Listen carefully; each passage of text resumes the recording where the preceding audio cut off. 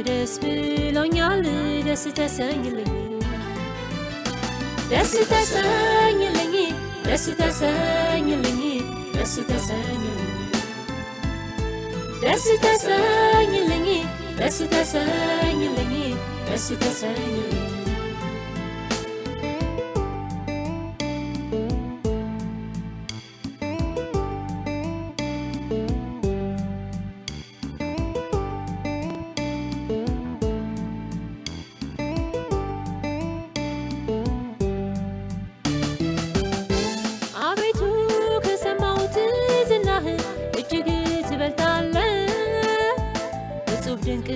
ረቂቅ በስራህ አይምሮን ታልፋለህ።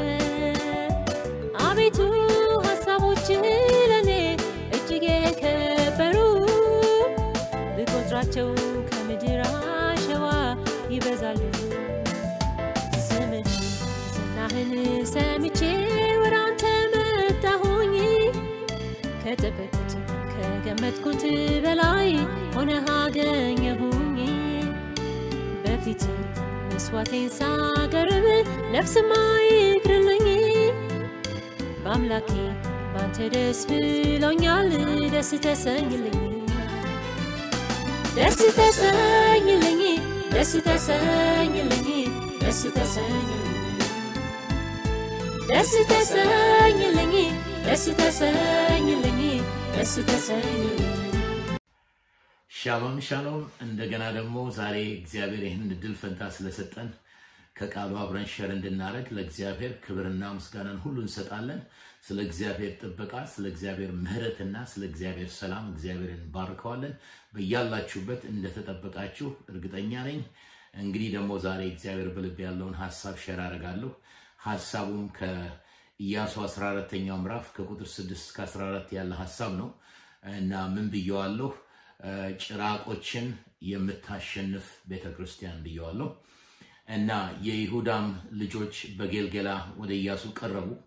ቄኒዛውያን የኦፍኒ ልጅ ካሌብ አለው፣ ለአምላክህ ሰው ለሙሴ ስላንተና ስለ አንተ ስለ እኔና ስለ አንተ እግዚአብሔር በቃዴስ በርኔ የተናገረውን ነገር ታውቃለህ።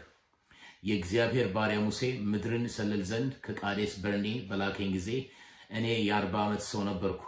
እኔም በልቤ የነበረውን ቃል መለስሁለት።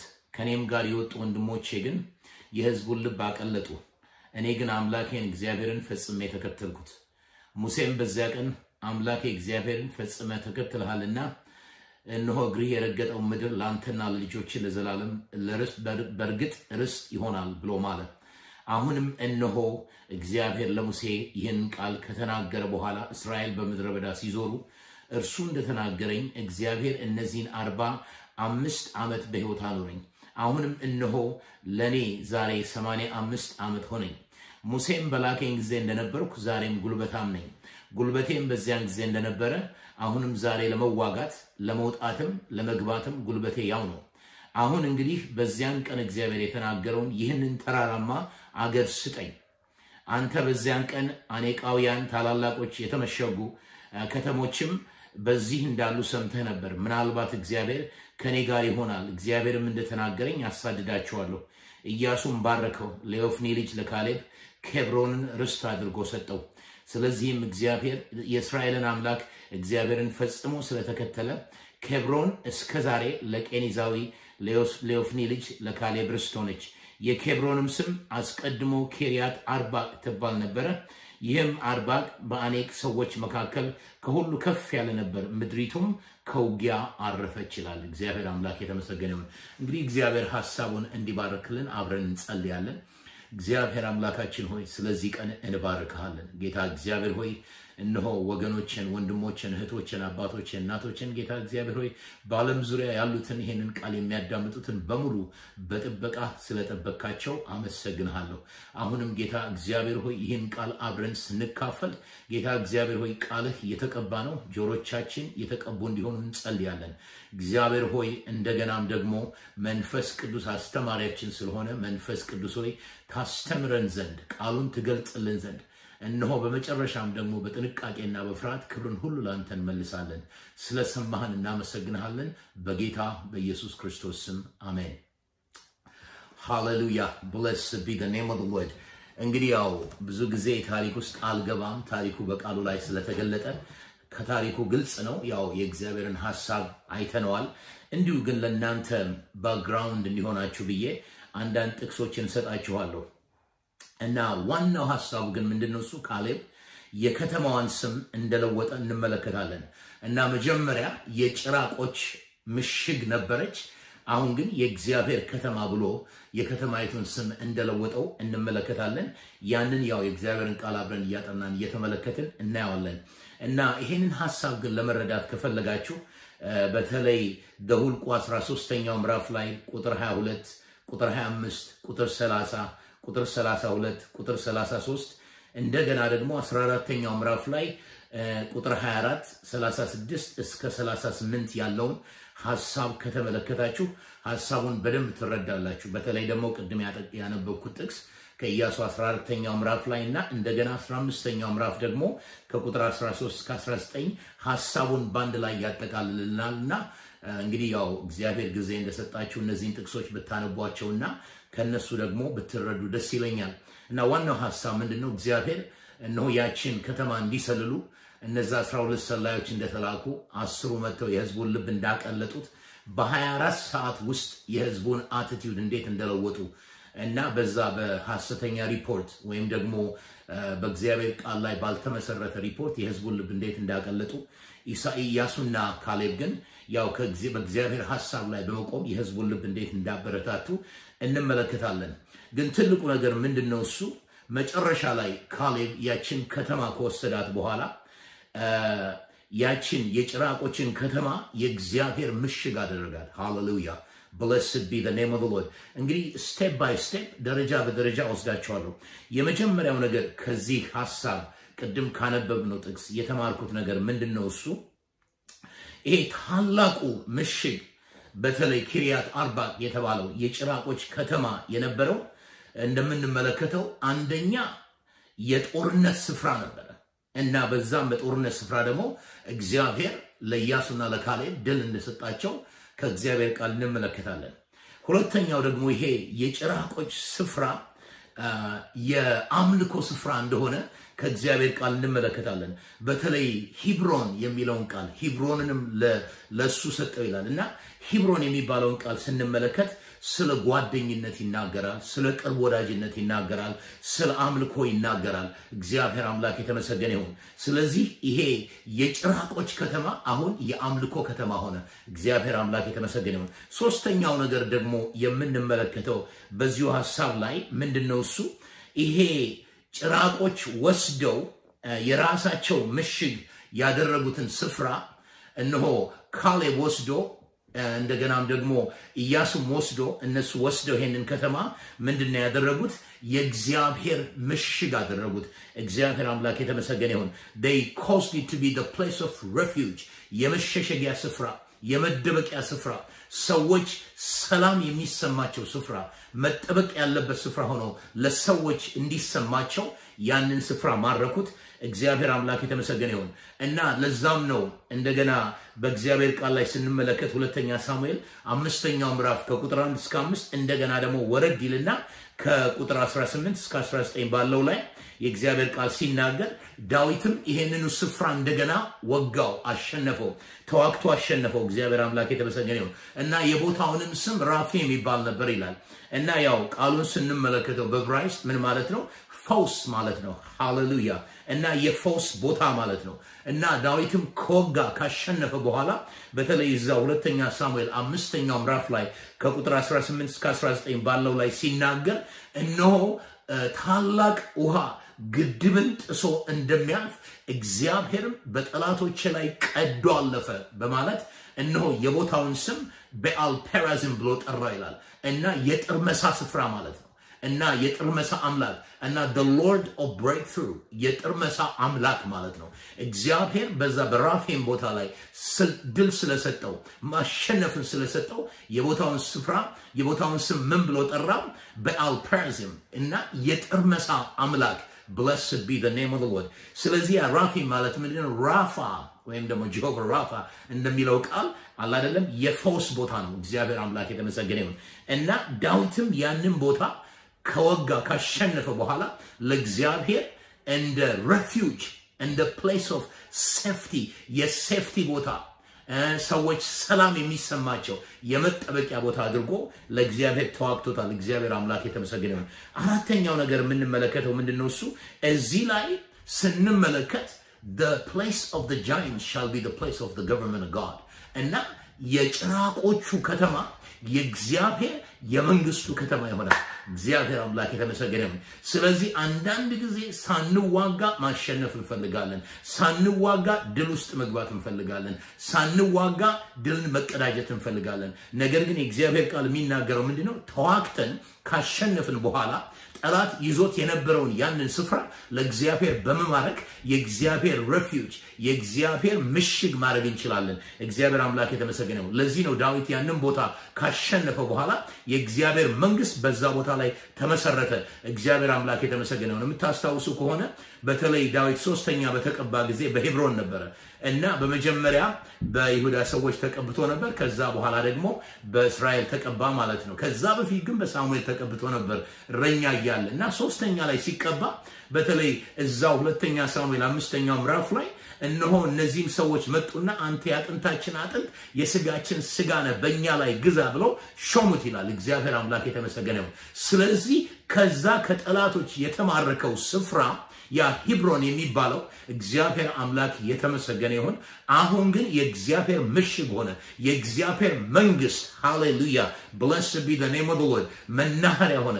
እግዚአብሔር አምላክ የተመሰገነ ይሁን። blessed be name Lord ሃሌሉያ the place of the giants will be ruled by the government of God እና ትልቁ ነገር የምናየው ምንድን ነው? የጭራቆቹ ስፍራ የያዙት ያ ምሽግ ስፍራ በእግዚአብሔር መንግስት ትሸነፋለች።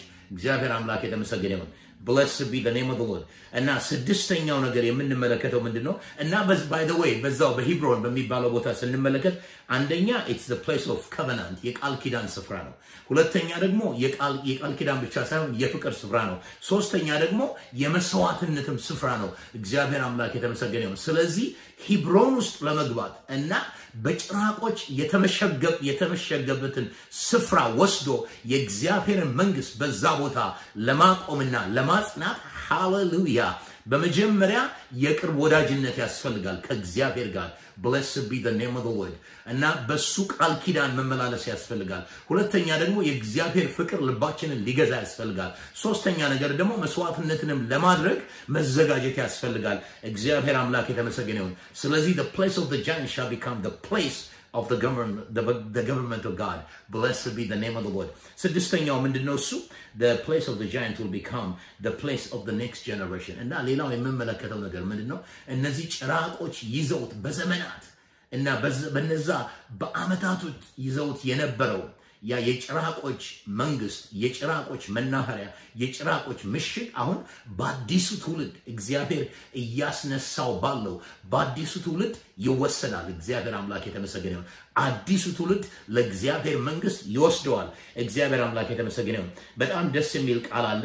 I just want to show you እዛው ኢያሱ ላይ ነው 15ኛው ምዕራፍ ላይ ከቁጥር 13 ጀምሮ ያለውን አነበዋለሁ። እግዚአብሔር አምላክ የተመሰገነ ይሁን። ቁጥር 13 ላይ ምን ይላል? እግዚአብሔርም ኢያሱን እንዳዘዘው ለዮፍኔ ልጅ ለካሌብ በይሁዳ ልጆች መካከል ኪርያት አርባቅ የምትባለውን ከተማ ድርሻ አድርጎ ሰጠው። እርሷንም ኬብሮን ናት። ይህም የአርባቅ የአኔቅ አባት ነበረ። ካሌብም ሶስቱን የኤናቅን ልጆች ሴሲናን፣ አኪመንን፣ ተላሚንም ከዚያ አሳደደ። blessed be የመጀመሪያው ነገር ምንድን ነው? እሱ ኢያሱ ቦታዎቹን ሲያከፋፍል ያው ቅድም ተመልክተነዋል በእግዚአብሔር ቃል ላይ በአርባ ዓመቴ ነበር ይቺን ከተማ የተመኘኋት ይችን ተራራ ስጠኝ ብዬ የጸለይኩት። ዛሬ ግን አርባ አምስት ዓመት ጨምሯል። ሰማንያ አምስት ዓመት ሆኖኛል።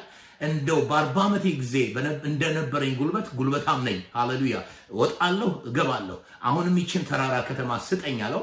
እግዚአብሔርም ያው በቃሉ ላይ እንደቆመ ያው ኢያሱም ያችን ከተማ ለሱ ሰጠው ማለት ነው እና ከሰጠው በኋላ ግን እነዛ ጭራቆች የኤናቅ ልጆች የነበሩት ስማቸው ያስጠላል። ሴሲናን ይለዋል፣ አኪመንን ይለዋል፣ ተላሚንም ይላል። ስማቸው በምድር ላይ የሌለ ስም ነው እና እኔ አሁን በስማቸው ላይ ለመቆም አልፈልግም። እነዛን ሶስቱንም አሳደደ ይላል። እግዚአብሔር አምላክ የተመሰገነው እና የእግዚአብሔርን በተለይ ጠላት ይዞት የነበረውን የጠላትን ምሽግ እነሆ ተዋግቶ ወስዶ አላደለ ለእግዚአብሔር ምሽግ ለማድረግ በዛ ላይ የሰለጠኑትን ጭራቆች ማባረር ያስፈልጋል። እግዚአብሔር አምላክ የተመሰገነ ይሁን። አባረረ ይላል። blessed be name of Lord። ከዛም በፊት ደግሞ የከተማዋ ስም ከዚያም በዳቤር ሰዎች ላይ ወጣ። ዳቤር የሚለው በደቢር በሂብራይስጥ ቋንቋ ቃሉን መነጋገር ቃሉን ማሰላሰል ማለት ነው እና በዛ ዳቢር በምትባለው ከተማ ላይ ወጣ። የዳቢርም ስም አስቀድሞ ኪርያት ሰፌር ትባል ነበረ እና አሁን እነዛን ካባረረ በኋላ በቃ የእግዚአብሔር ቃል መወያያ ከተማ አደረጋት። እግዚአብሔር አምላክ የተመሰገነ ይሁን። ኪርያት ሰፌርም ለሚመታ ለሚይዛት ልጄን አክሳን አጋባዋለሁ። የካሌብም ወንድም የቄኔስ ልጅ ጎቶንያል ያዛት፣ ልጁንም አክሳን አጋባው። ሃሌሉያ። እርሷም ወደ እርሱ በመጣች ጊዜ ከአባቱ ዋሻ እንዲለምን መከረችው። እርሷም ከአህያ ወረደች። I think ሀሳቡን እያነበብኩትና ሀሳቡን እየገለጥኩት ብሄድ ደስ ይለኛል እና ቅድም ስናገር ስድስተኛው ሀሳብ ላይ ምንድን ያልኩት? የጭራቆች ከተማና የጭራቆች ምሽግ በሚቀጥለው generation ይወሰዳል፣ ይመታል። ለእግዚአብሔር መንግስት ማቆሚያ ከተማ ሆኖ ይሰራል። እግዚአብሔር አምላክ የተመሰገነ ይሁን። ለዚህም ነው የእግዚአብሔር ቃል ሲናገር ምንድን ያለው? ካሌብም እነሆ ይችን ኪርያት ሰፌር የምትባለውን ከተማ ለሚመታ ልጄን አክሳንን አጋባዋለሁ አለ። ከዛም የካሌብ ወንድም የቄኔዝ ልጅ ጎቶንያል ያዛት ይላል እና እሱ ተዋግሶ ከያዛት በኋላ ልጁን አክሳን አጋባው ይላል። እግዚአብሔር አምላክ የተመሰገነ ይሁን። እርሷም ወደ እሱ በመጣች ጊዜ ወደ ጎቶንያም በመጣች ጊዜ አክሳን ማለት ነው። በመጣች ጊዜ ከአባቱ ዋሻ እንዲለምን መከረችው።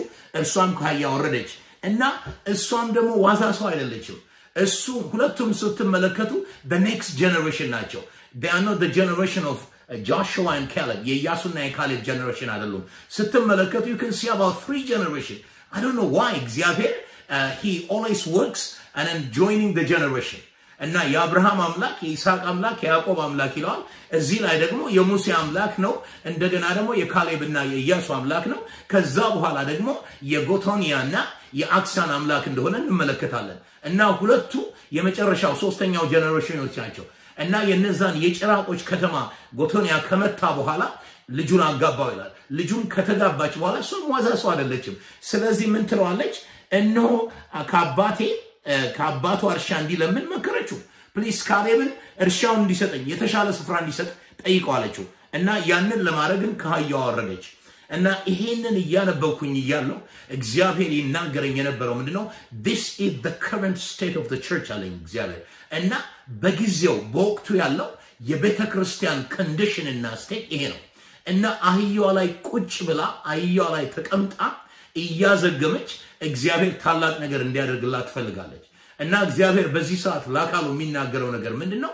እግዚአብሔር እነሆ የጭራቆችን ከተማ ለእናንተ እንዲያስወርስ ከፈለጋችሁ ከአህያችሁ ላይ መውረድ አለባችሁ። blessed be name በእግዚአብሔር ቃል ላይ ቤትም ስፍራ በአህያ መንጋጋ ማን ነው ሳምሶን አንድ ሺህ ሰው እንደጨረሰ እናውቃለን።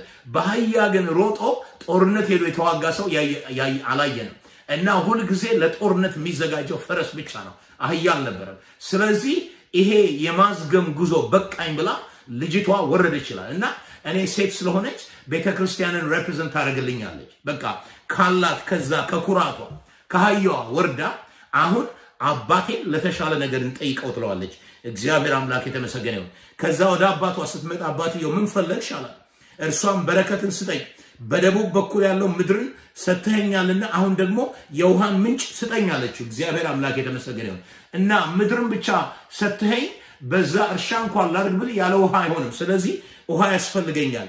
እርሱም በጣም ጥሩ ጥያቄ ነው የጠየቀችው። እሱ የላይኛውንና የታችኛውን ምንጭ ሰጥቼሻለሁ። blessed be name ለዚህ ነው ያዕቆብ ሲናገር ምን ይላል? አታገኙም፣ አትቀበሉም፣ ምክንያቱም አትጠይቁም አለ። ነገር ግን አሁን በመጠየቋ አንድ ምንጭ ሳይሆን የላይኛውንና የታችኛውን እንዳገኘች የእግዚአብሔር ቃል ይናገራል። እግዚአብሔር አምላክ የተመሰገነ ይሁን። blessed be name of Lord ሃሌሉያ። blessed be name of Lord። እንግዲህ እግዚአብሔር ወደዛ ዳቢር ወደ ተባለው ስፍራ ያምጣን። ቃሉን ወደምንነጋገርበት ቦታ እግዚአብሔር አምላክ የተመሰገነ ይሁን። እና ሌላው ቃል ደግሞ በዛው ላይ ስንመለከተው ኢትስ place of inner sanctuary በቃ ይሄ ውስጣዊ መቅደስ ነው። እግዚአብሔር አምላክ የተመሰገነ ይሁን። እና የላይኛውንና የታችኛውን የተባረከውን ያንን ስፍራ ሰጥቼሻለሁ። the name of the Lord. ውስጠኛው ቅድስተ ቅዱሳን ስፍራ the name of the Lord የተቀደሰው ስፍራ ውስጣዊ ቅድስና ማለት ነው። እግዚአብሔር አምላክ የተመሰገነ ይሁን። ያንን ሰጥቼሻለሁ እና ሰባተኛው ነገር የምንመለከተው ምንድነው? እሱ the next generation will make the place of the giant the place of inner sanctuary እና ስንመለከተው ምንድነው እዚህ ላይ የምናየው በቃ ይሄ የሚቀጥለው ትውልድ የጭራቆችን ስፍራ መውሰድ ብቻ ሳይሆን እግዚአብሔር አሳልፎ የሰጣቸውን የጭራቆችን ምሽግ ለእግዚአብሔር ምሽግ ካደረጉ በኋላ ያንን ስፍራ make it a place of inner sanctuary በቃ ውስጣዊ መቀደሻ ስፍራ አድርገው ይሰሩታል። እግዚአብሔር አምላክ የተመሰገነ ይሁን። ለስማቸው ስማቸውን የሚያስነሳ ታላቅ ሐውልት የሚገነቡበት ቦታ ሳይሆን ነገር ግን ሰዎች የሚቀደሱበት ስፍራ አድርገው ያንን ቦታ ያዘጋጁታል። እግዚአብሔር አምላክ የተመሰገነ ይሁን። እዛ ላይ ስንመለከት አንድ የምንመለከተው ነገር ምንድን ነው? እሱ በተለይ ጎቶኒያ የሚባለው ቃሉን ስንመለከተው በተለይ ቁጥር 17 ላይ 15ኛው ምዕራፍ ላይ አንድ ትግል አንመለከትም። አንድ ጦርነት አናይም። ሄዶ ጦርነት አድርጎ ጭራቆች ገሎ ምድሩን ወስዶ አይደለም እና ጎቶኒያም ወሰደው ይላል። በቃ praise God እና እኔ note ኤ ላይ ምን ብዬ ጽፌዋለሁ? without waiting time without wasting time at the speed of light በቃ he took you know he took the place of the giant without wrestling without wasting time at the speed of light. እግዚአብሔር አምላክ የተመሰገነ ይሁን የነዛን የጭራቆቹን ስፍራ ያለ ውጊያ ያለ ትግል እንደገናም ደግሞ ጊዜ ሳያጠፋ ልክ በብርሃን ፍጥነት ያንን ቦታ ወሰደው የምናየው ምንድን ነው ሄዶም ወሰደው ነው ይሄን ቦታ ለሚዋጋልኝ ኪርያት አርባ ሰፈር የምትባለውን ስፍራ ለተዋጋልኝ ልጄን እሰጠዋለሁ አክሳም እሰጠዋለሁ ስለዚህ ጎቶኒያም ሄዶ ወሰደው ይላል። በቃ that's ከዛ ውጭ የምናውቀው ታሪክ የለም። blessed be name Lord እና ከሁሉ በላይ ደግሞ የምናየው ምንድን ነው ሚስቱም አክሳም encourage አደረገችው። አባትየውን እንዲጠይቅ አባቷን እንዲጠይቅ። እና ከፈረሷ sorry ከአህያዋ ወረደች ይላል blessed be name Lord ይህን እንግዲህ ያው present state of church ብያቸዋለሁ። እስቲ ከሌላ ነገር ጋር እናወዳድረው። አህያና ፈረስ blessed be name of Lord ሃሌሉያ እስቲ እዛው ጥቅስ ላይ የእግዚአብሔርን ቃል እንመለከታለን። በተለይ sorry እዛው ጥቅስ ላይ አይደለም። ኤርሚያስ 12ተኛው ምዕራፍ ላይ ወደዛ ብንሄድ ደስ ይለኛል። ኤርሚያስ 12 ቁጥር አምስትን እንድንመለከተው ጠይቃቸዋለሁ እዛ ላይ ምን ይላል? ከእግረኞች ጋር በሮጥክ ጊዜ እነሱ ቢያደክሙ ከፈረሶች ጋር መታገል እንዴት ትችላለህ? በሰላም ምድር ታምነ ብትቀመጥ በዮርዳኖስ ትቢት እንዴት ታደርጋለህ? ሃሌሉያ እና ይህንን ቀስ እያልኩ ገልጸዋለሁ። የመጀመሪያው ሀሳብ ግን እዚህ ላይ የመጣልኝ ነገር ምንድን ነው እሱ በተለይ ከእግረኞች ጋር ስትታገል ስትዋጋ እነሱ ካደከሙ ከፈረሶች ጋር ስማ እንዴት አድርገህ ትሮጣለህ? how can you catch up እና እንግዲህ እዚህ ላይ የምመለከተው ምንድን ነው እሱ አንደኛ እግረኛ ሰዎች አሻግረው ማየት አይችሉም። ምክንያቱም ያላቸው vision ያላቸው visibility ወይም ለማየት ያላቸው ችሎታ በጣም የተወሰነ ነው limited ነው።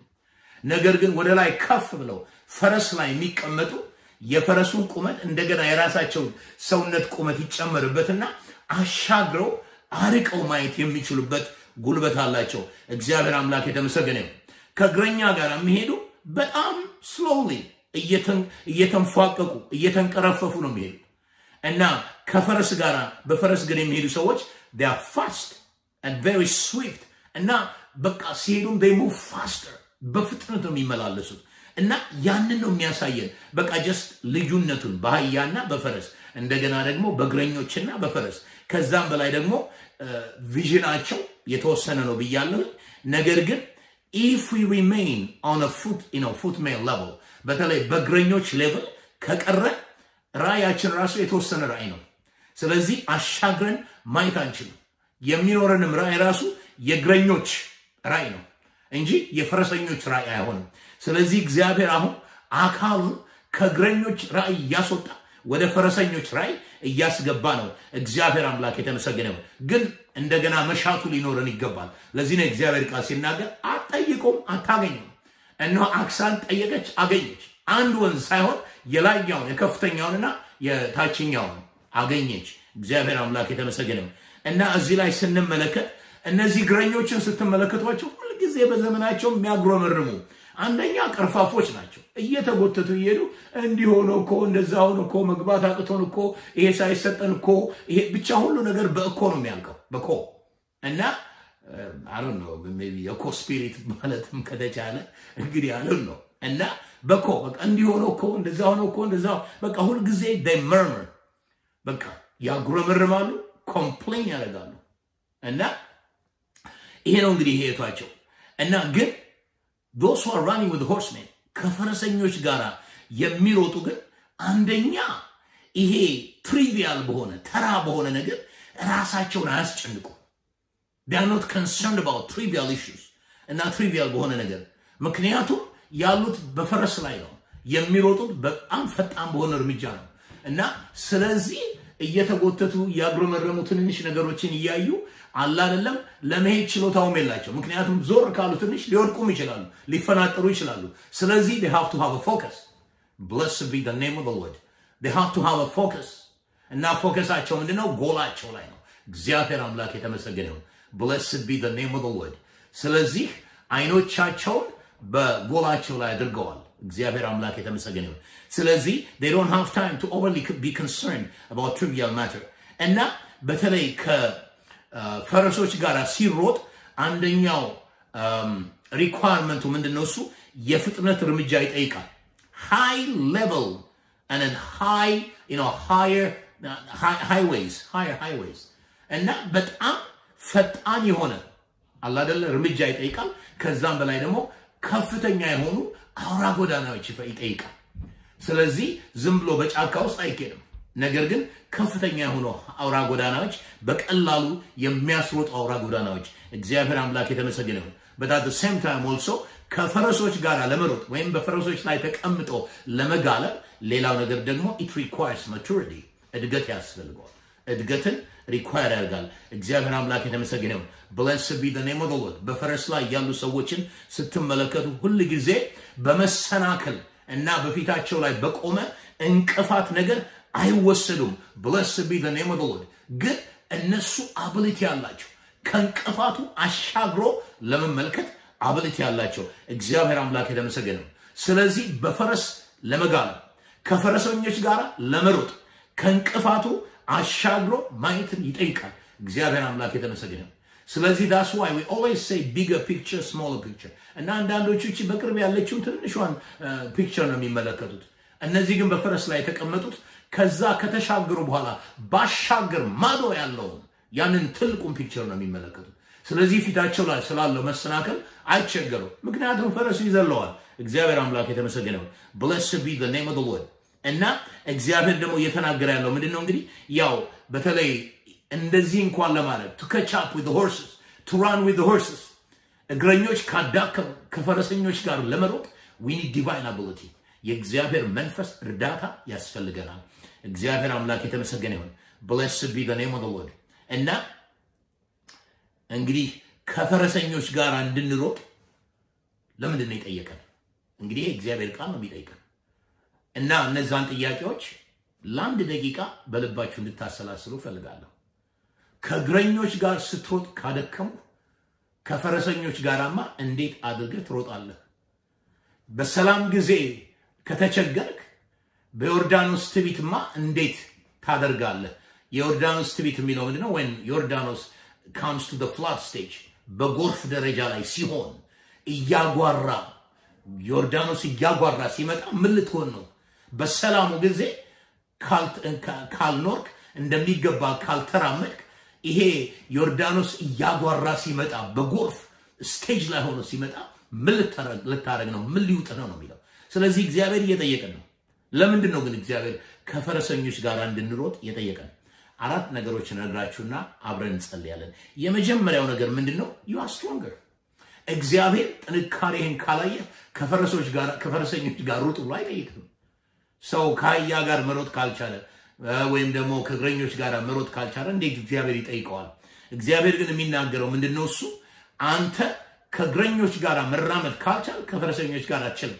ስለዚህ አንተ ግን የጭራቆችን ከተማ መውሰድ የምትችል ለእግዚአብሔር አላደለም ምርኮ አድርገህ ወስደህ የእግዚአብሔር አላደለም መታመኛ ወይም ደግሞ ረፊውጅ መሸሸጊያ የምታደረግ ስለሆንክ ጉልበት ስላለ ኃይል ስላለ you are stronger you can do it። ስለዚህ አንደኛው ምንድን ነው? because you are stronger እና you are not released to run with the horses until you have defeated the enemy at the ground level እና እግዚአብሔር የሚናገረው ምንድን ነው? በመጀመሪያ ከፈረሶች ጋር እንድትሮጥ ከፈረሰኞች ጋር እንድትሮጥ በተለይ በ ground level ያለውን እግረኞችን ማሸነፍ ካልቻልክ ከፈረሰኞች ጋር ፍልሚያ ውስጥ እንድትገባ አልፈቅድልህም። እግረኞችን ማሸነፍ ከቻልክ ግን ከፈረሰኞች ጋር እንድትሮጥ ፍልሚያ እንድታረግ አዘጋጅሃለሁ፣ እፈቅድልሃለሁ። እግዚአብሔር አምላክ የተመሰገነ ስለዚህ እግረኞችን ካሸነፍን ከእግረኞች ጋር ሮጠን ማሸነፍ ከቻለን እግዚአብሔር ከፈረሰኞች ጋር እንድንሮጥ ይረዳናል። እንግዲህ ያም ማለት ምንድን ነው? ጉልበቱ አለን ማለት ነው። እግዚአብሔር አምላክ የተመሰገነ ይሁን እና it is the level where you are የት ቦታ ነው ያለ ነው እና በዚህ ሰዓት ደግሞ ራሳችንን ማየቱ መልካም ይመስለኛል እና ቦታችንን አውቀን number A we have to gain understanding በቃ መረዳት እንዲኖረን እንጸልያለን። number B we have to gather revelation እና እግዚአብሔር ስለነዛ ነገሮች መገለጥ እንዲሰጠን መገለጦችን እንሰበስባለን ከእግዚአብሔር ልብ ውስጥ። ሶስተኛው ነገር ደግሞ ምንድን ነው? እሱ እግዚአብሔር በሰጠን በነዛ መገለጦች በነዛ የትንቢት ቃሎች ጦርነትን እናደርጋለን። አንደኛ ጢሞቴዎስ 1 18 ላይ እንዳለ በፊትህ በወጡት በነዛ ትንቢቶች ቃል መሰረት ውጊያን አድርግ ይላል። ይሄ መቼም ቃል ሳይሰለቻቸው አይቀርም፣ ብዙ ጊዜ ተናግሬዋለሁ። እና ሶስተኛው ደግሞ ምንድን ነው? በነዛ በተሰጡን መገለጦች ውጊያ እናደርጋለን። እንግዲህ አሁን ችግሩን ብቻ ሳይሆን ማሳያችሁ ወይም ደግሞ challenge ኡን ሳይሆን ተግዳሮቱን ብቻ ሳይሆን እግዚአብሔር ደግሞ እንድናደርግ ያለውን አንደኛ መገለጦች አላደለ መረዳት አላደለ እንዲኖረን እንጸልያለን። ሁለተኛ ደግሞ መገለጥ እንሰበስባለን ከእግዚአብሔር ልብ ውስጥ ከእግዚአብሔር ቃል ውስጥ። ሶስተኛ በነዛ መገለጦች እንጸልያለን። okay let's go back into number two። ምክንያቱም አራት ነገሮችን እነግራችኋለሁ ብያለሁ እና እነዛ ሶስቱ ሀሳቦች by the way የተናገርኩት still point number one ላይ ያሉ ሀሳቦች ናቸው። ABC ብያቸዋለሁ። እና ሁለተኛው ደግሞ ምንድን ነው እሱ ቱምቢው ወድቋል ወርዷል በቃ እና ሁልጊዜ እግዚአብሔር ቱምቢው ወረደ ሲል እግዚአብሔር ምን ማለቱ ነው?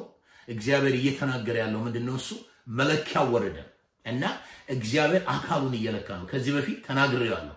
በተለይ መቅደሱን ለካው፣ አምላኪዎቹን ለካ፣ እንደገና ደግሞ መሰዊያውን ለካው የሚለው እና እግዚአብሔር ለመለካት እንደተዘጋጀ ቱምቢው ለመለካት ወደ ታች እየወረደ እንደሆነ ተናግሬዋለሁ። ደግሜ ያልናገረውም በተለይ ራእይ 11ኛው ምዕራፍ ላይ ከቁጥር አንድ ጀምሮ ያለውን ሀሳቡን ካነበባችሁት ሀሳቡ ይገባቸዋል።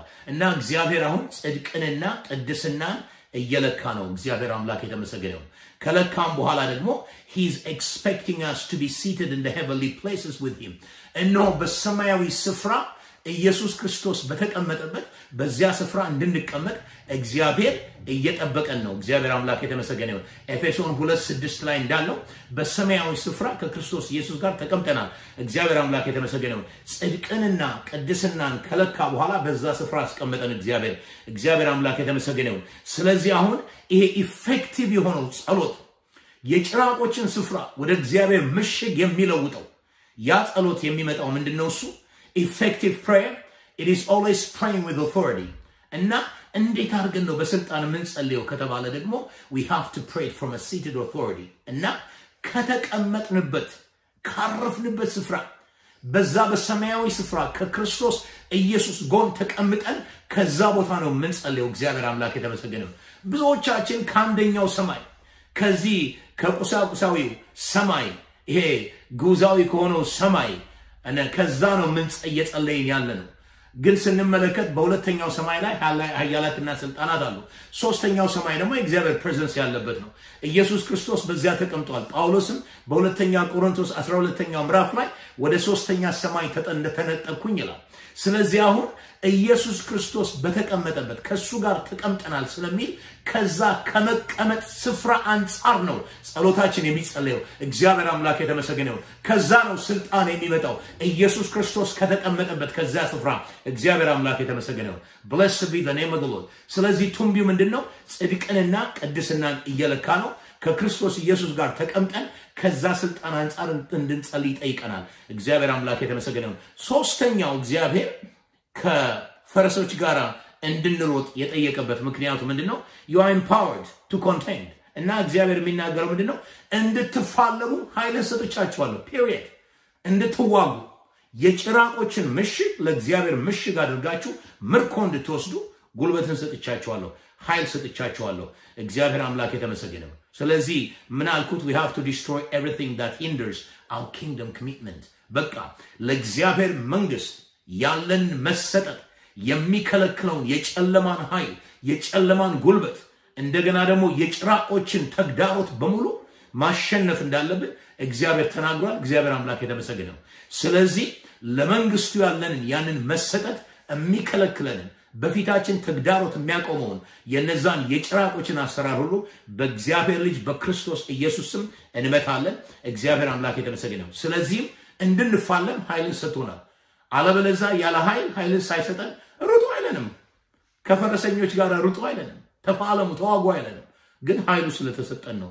እግዚአብሔር አምላክ የተመሰገነ የመጨረሻውና አራተኛው ምንድን ነው? እሱ it is our time to cross over ሃሌሉያ። በቃ ለመሻገር ጊዜያችን ነው። ከወንዙ ባሻገር ወዲህ ሆኖ መጠበቅ ጊዜ አለው። እንደገና ደግሞ ወደ ወንዙ ውስጥ መግባትና መሻገር ጊዜ አለው። ከወንዙ ባሻገር ሄዶ ወደዛኛው ቦታ መሄድ ደግሞ አምን በዛኛው ቦታ መቀመጥ ጊዜ አለው። ስለዚህ አይ ብሊቭ አሁን እግዚአብሔር የሚናገረው ምንድን ነው? እሱ የመሻገሪያችን ጊዜ ነው። እግዚአብሔር አምላክ የተመሰገነ ነው። ከዚህ በፊት ተናግሬ ያለው ስለ transition በተለይ የሽግግር ጊዜ በሚለው ነገር ተናግሬ ብዙ ሀሳብ ተናግሬ ያለው በተለይ በዛ ብዙ ምስክርነት ያገኘንበት መልእክት ነው። እግዚአብሔር አምላክ የተመሰገነ ይሁን። blessed be name of Lord። ለዚህም ነው እዛው ኤርሚያስ 12 ላይ ሲናገር ከእግረኞች ጋር ስትሄድ ከደከምክና መሮጥ ካልቻልክ ከፈረሰኞች ጋር ምንድን ነው የሚለው? ከእግረኞች ጋር በሮጥክ ጊዜ እነሱ ቢያደክሙህ ከፈረሰኞች ጋር መታገል እንዴት ትችላለህ? በሰላም ምድር ታምነህ ብትቀመጥ በዮርዳኖስ ትቢት እንዴት ታደርጋለህ? እና የዮርዳኖስ ትቢት የሚለው ምንድን ነው? as I said earlier በ flood stage በጎርፋማው ጊዜው አላደለም እያጓራ ሲመጣ ነው። እና ለዚህም ነው ኢያሱ ሲናገር ኢያሱ አንደኛው ምዕራፍ ላይ ቁጥር 11 ላይ እና shall cross this Jordan አለ እና አሁን የጎደለው በበጋ ጊዜ የነበረው ዮርዳኖስ ሳይሆን ነገር ግን አሁን በክረምት ሞልቶ ተትረፍርፎ እንደው ሊታለፍ የማይቻለው እያጓራ የሚመጣውን ዮርዳኖስን ያንን ነው እንሻግራለን ያለው እግዚአብሔር አምላክ የተመሰገነ ይሁን። ስለዚህም እግዚአብሔር የሚናገረው ምንድን ነው? እግዚአብሔር ዮርዳኖስ በጎደለ ጊዜ ሳይሆን ነገር ግን በጎርፍ ጊዜ እያጓራ በሚመጣ ጊዜ በትዕቢቱ ጊዜ በዚያን ጊዜ እንሻገረዋለን። እግዚአብሔር አምላክ የተመሰገነ ይሁን። የመጨረሻው ሀሳብ ምንድን ነው? እግዚአብሔር እንግዲህ በቃሉ ላይ እንደተናገረው እንግዲህ እያስነሳ ያለው ጭራቅ ገዳዮች ሃሌሉያ፣ እነሆ የጭራቅን መንግስት እነሆ አውድመው ያችን ጭራቆች የያዟትን ከተማ ምሽግ አድርገው የወሰዷትን ያችን የጭራቆችን ከተማ ለእግዚአብሔር ከተማ አድርጎ መውረስ ማለት ነው። እግዚአብሔር አምላክ የተመሰገነ የጭራቆች መሸሸጊያ የእግዚአብሔር ሕዝብ መሸሸጊያ ይሆናል። እግዚአብሔር አምላክ የተመሰገነ ዛሬ ጠላት ከእናንተ ምን እንደወሰደ አላውቅም። ነገር ግን የወሰደባችሁን ነገር በሙሉ እግዚአብሔር ለኢያሱና ለካሌብ ያንን ጉልበት እንደሰጣቸው እድሜ ሊወስነው የሚችለው አይነት ውጊያ አይደለም። ስለዚህም ነው ካሌብ ሲናገር ያኔ ስጠኝ ስል አርባ ዓመቴ ነበር፣ አሁን ግን ሰማንያ አምስት ዓመቴ ነው። እነሆ ጉልበቴ አልደከመም፣ እወጣለሁ፣ እገባለሁ። ስለዚህ እነሆ ይህንን ተራራ ስጠኝ አለ። እግዚአብሔር አምላክ የተመሰገነ ይሁን። ኢያሱም ሰጠው ይላል ያንን ሂብሮን። እግዚአብሔር አምላክ የተመሰገነ ይሁን። blessed be name Lord የእግዚአብሔር መንግስት የቆመበት ስፍራ ነው። እንደገና ዳዊት ያንንም ከተማ እንደማረከው እንመለከታለን። እግዚአብሔር አምላክ የተመሰገነ ይሁን። የእግዚአብሔር መንግስት የቆመበት ቦታ ነው። ስለዚህ በጤንነት ይሁን፣ በገንዘብ ይሁን፣ በትዳር ይሁን፣ በ relationship ይሁን፣ በአገልግሎት ይሁን፣ በተከፈተ በር ይሁን፣ በተለያየ መንገድ ጭራቆች የወሰዱትን ቦታ እግዚአብሔር ዛሬ ለእናንተ ምርኮ አድርጎ ይሰጣቸዋል። እግዚአብሔር አምላክ የተመሰገነ ይሁን። ያንንም የሚያደርገው በኃይልና በብርታት ሳይሆን እግዚአብሔር ዛሬ ጉልበቱን ሰጥቷል። አለበለዛ ግን እነሆ ከእግረኞች ጋር ስትሮጡ ካዳከሟችሁ ከፈረሰኞች ጋር እንድትዋጉና እንድትፋለሙ እንዴት እግዚአብሔር ተፋለሙ ብሎ ያንን ጥሪ ለእናንተ ያስተጋባል። ነገር ግን እግዚአብሔር ዛሬ በጉልበት ሊያበረታችሁ በእናንተ ጉልበት ሳይሆን በእግዚአብሔር መንፈስ ጉልበት ሊያበረታችሁ ስላለ ሃሌሉያ እንድትፋለሙ ጉልበትን ሊሰጣችሁ ስላለ እግዚአብሔር ዛሬ ከፈረሰኞች ጋር ተዋግታችሁ እንደምታሸንፉ ከጭራቆች ጋር ተዋግታችሁ እንደምታሸንፉና እነሆ እነሱ የማረኩትን ከተማ ለእግዚአብሔር እንደምትማርኩ እግዚአብሔር ዛሬ ይናገራል። እግዚአብሔር አምላክ የተመሰገነ ይሁን። እግዚአብሔር አምላክ የተመሰገነ ይሁን። ሃሌሉያ። እግዚአብሔር አምላካችን ሆይ ስለዚህ ጊዜ እንባርካለን፣ ስምን እንቀድሳለን። ጌታ እግዚአብሔር ሆይ አሁንም እንጸልያለን። እግዚአብሔር ሆይ ለወንድሞቼ፣ ለእህቶቼ፣ ለአባቶቼ፣ ለእናቶቼ እግዚአብሔር ሆይ እነሆ እነዚህ ጭራቆች የማረኳቸውን ስፍራዎች እግዚአብሔር ሆይ እነሆ እነዚህ እግረኞች ሳይሆን ፈረሰኞች የማረኳቸውን ጌታ እግዚአብሔር ሆይ ዛሬ ግን ጌታ እግዚአብሔር ሆይ እግረኞች ሳይሆን ያዳከሟቸው ከፈረሰኞች ጋር እንዲፋለሙ አንተ ጉልበት ስለሰጠሃቸው ጭራቆች የወሰዱትን እነሆ ፈረሰኞች ምርኮ አድርገው የወሰዱትን ለእግዚአብሔር ከተማ ለእግዚአብሔር መንግስት መቆሚያ መጽኛ ቦታ አድርገው ስለሚማርኩ አመሰግንሃለሁ። እግዚአብሔር ዛሬ የምርኮ ቀን ስለሆነላቸው፣ ዛሬ የማሸነፍ ቀን ስለሆነላቸው፣ ዛሬ ጌታ እግዚአብሔር ሆይ የእግዚአብሔርን መንግስት የሚያጸኑበት ቀን ስለሆነላቸው፣ ዛሬ ጌታ እግዚአብሔር ሆይ ከፈረሰኞች ጋር ሮጠው የሚያሸንፉበት ቀን ስለሆነ እግዚአብሔር ሆይ ፈረሰኞች ሮጠው ጌታ እግዚአብሔር ሆይ ታግለው የወሰዱትን የማረኩትን ነገር የሚያስመልሱበት ጊዜ ስለሆነ ከዛም በላይ በፈረስ በማረኩት ፈረስ ላይ ተቀምጠው አሻግረው ጌታ እግዚአብሔር ሆይ በዘመናት እንድታይላቸው የፈቀድክላቸውን እነዛን ራእዮች አሻግረው ማየት ስለሚችሉ ከመሰናክሉ ከችግሩ ጌታ እግዚአብሔር ከተግዳሮቱ በላይ አሻግረው ማየት ስለሚችሉ እግዚአብሔር ያንን ጉልበትና ያንን ቅባት ስለሰጣቸው አመሰግንሃለሁ። አሁንም ጌታ እግዚአብሔር ሆይ ስላደረግከው ስምህን እንባርካለን። ስምህ ለዘላለም የተባረከ ይሁን። ስለሰጠህን ጸጋ እናመሰግንሃለን። አይኖቻችን ስለበሩ እናመሰግናለን። ቃልህን ስለቀባህ እናመሰግናለን። ጆሮቻችን ስለተቀቡ እናመሰግናለን። የጌታ መንፈስ ስላስተማርከን እናመሰግንሃለን። ስምህ ለዘላለም የተባረከ ይሁን። አሁንም ጌታ እግዚአብሔር ሆይ በመባረክ ይባረኩ፣ በመጠበቅ ይጠበቁ፣ በመብዛት ይብዙ። እግዚአብሔር ሆይ የልባቸውን መሻት ሁሉ ስለተገናኘ በክርስቶስ ኢየሱስ ስም አመሰግንሃለሁ። ስምህ ለዘላለም የተባረከ ይሁን። በጌታ በኢየሱስ ክርስቶስ ስም አሜን። ሃሌሉያ። እንግዲህ እያዞረ ድልን ስለሚያሳየን ለሱ ለአምላካችን ክብር ሁሉ ለዘላለም ይሁን። አሁንም በቤተ ክርስቲያን ወደፊትም እነሆ ሊመጡ ባሉት ዘመናት ሁሉ ለእግዚአብሔር ክብር ይሁንለት። እግዚአብሔር አምላክ የተመሰገነ ይሁን። እንግዲህ በሚቀጥለው ሳምንት እንደገና ደግመን እስክንገናኝ እግዚአብሔር በዚች ሳምንት ውስጥ እነሆ የምርኮ ሳምንት ያደርግላችሁ። ከእግረኞች ጋር አትራመዱም፣ ከፈረሰኞች ጋር ትሮጣላችሁ። መሮጥ ብቻ ሳይሆን ተፋልማችሁ ታሸንፋላችሁ። ፈረሰኞቻቸውን ፈረሶቻቸውንም ወስዳችሁ በእነሱ ላይ ተቀምጣችሁ አሻግራችሁ ታያላችሁ። የጭራቆች ከተማ የእናንተ ከተማ ሆነ። በጌታ በኢየሱስ ክርስቶስ ስም እግዚአብሔር ይባርካችሁ፣ እግዚአብሔር ይጠብቃችሁ፣ እግዚአብሔር ደግሞ እነሆ ሰላሙን ያብዛላችሁ። እንግዲህ ደግሜ እስካያችሁ I want you to know once again, I love you and there's nothing you can do about it. May the Lord bless you. Hallelujah. Blessed be the name of the Lord. Thank you, Father God. We give you the praise. We give you the glory. We give you the honor. We give you the majesty. In Jesus' name. Amen. Hallelujah.